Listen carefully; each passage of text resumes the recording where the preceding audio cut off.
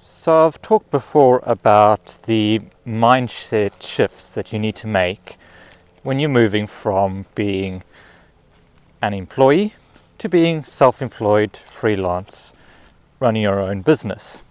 And there are significant shifts. And one of the ways you need to shift your thinking is around how much you charge for your work or how much you pay yourself for the work you do.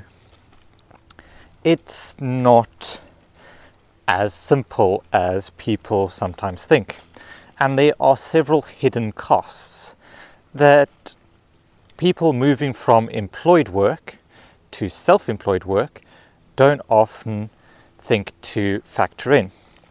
And also, a lot of customers don't realize are there.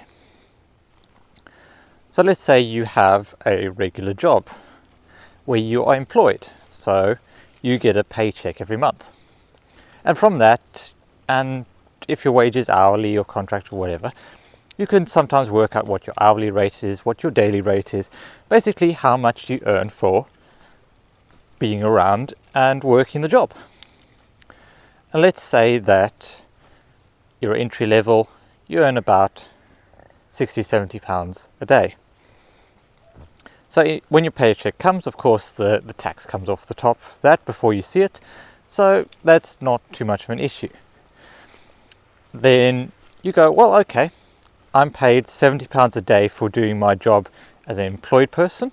So therefore, I should aim to make £70 when I'm working self employed. Problem with that is you're not comparing like to like.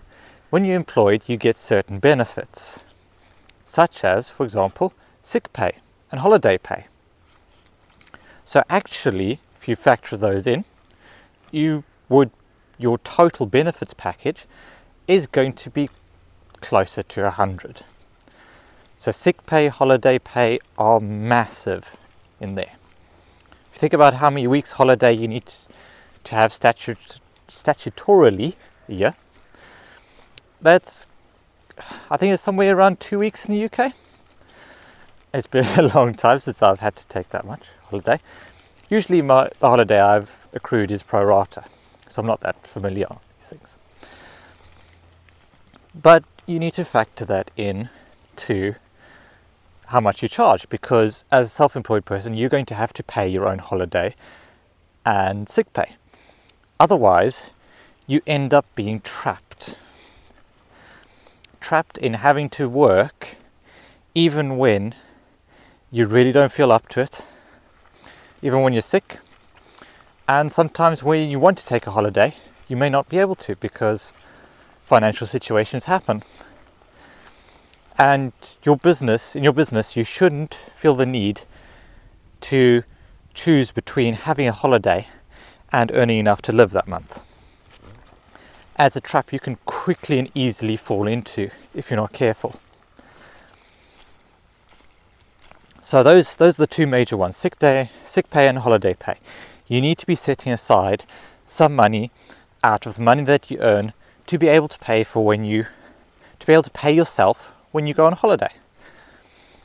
So that when you take two weeks off over the summer holidays or two weeks over Christmas, you don't have to take a 50% pay cut those months and somehow still manage to pay the rent, the mortgage, the utility bills. The other thing you need to be thinking about, the other big hidden cost, is the amount of risk that an outdoor leader has in their cash flow. So, this this year, 2023, June was an awful month for weather wise. It was just a whole lot of rain, and some of the rain sensitive events got cancelled. I had four events of my own cancelled, which for me, that's that's significant. That was somewhere in the region of 600 pounds less that month and there's there's other things. So if you're running sessions with customers, direct to customers, so like if you're working for a school with families, there may well be times where you just have a run of bad luck, where four out of the five people that have booked onto your session call in sick. And sometimes, or they just won't book for that activity, depending on your booking platform and how you work your refund policy and everything else. You may not get, you may only get one person's worth of earnings that day. You may only get paid for one person, and suddenly you, you're being hit by a pay cut. So your pricing needs to take into account that sometimes you won't have, you won't be fully booked. In fact, if you're fully booked all the time, you are doing really well and you are the exception, not the rule. Everyone has experiences fluctuations up and down. The difference between working as one person or two people in a small company and working as a big business is a big business can offset a lot of those risks by um, by concentrating them. So if they make a little bit less in this area, they can make a little bit more in that area, and it averages out, and they do well out of that. But as small businesses, we need to make sure we are ensuring our own risk. We are taking steps and we are making sure that the pricing is set in such a way that even if we have a bad month, we can still make a living. And those those are big pitfalls. So I'd say First of all, make sure that you are working holiday and sick pay in. It is awful having to work if you are feeling terrible and just think about the kind of session that you are offering the people that you're working with. If you're not on your top game, you can't really give them the attention and the, the time that they deserve and the energy that they need to have. Make sure you are setting up your pricing structure for your business in a way that ensures for both bad times and good.